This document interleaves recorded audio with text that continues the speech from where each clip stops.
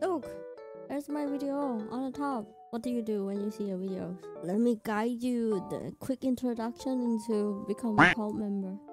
That blue video, click on it, okay? Like the videos, and then you put an emoji like this. Pray.